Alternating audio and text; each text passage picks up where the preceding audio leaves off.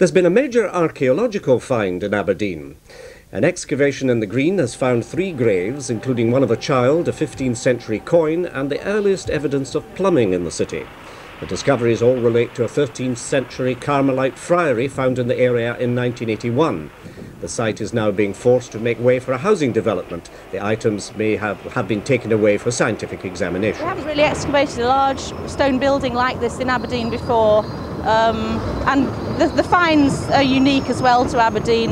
Uh, in comparison, there are other Carmelite friaries in the rest of Britain that have been excavated with similar finds, but these I think are the most exciting finds that we've had from Aberdeen.